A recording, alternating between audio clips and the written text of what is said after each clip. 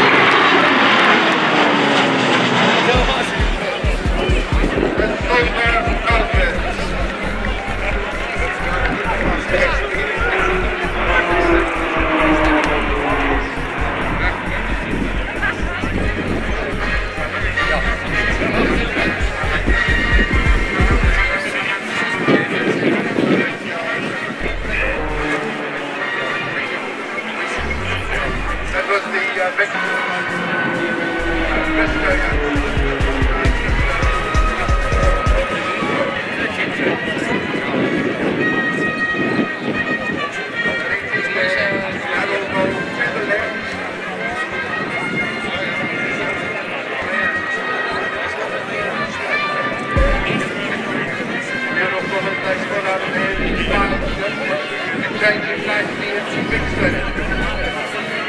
As they change him to Vixen,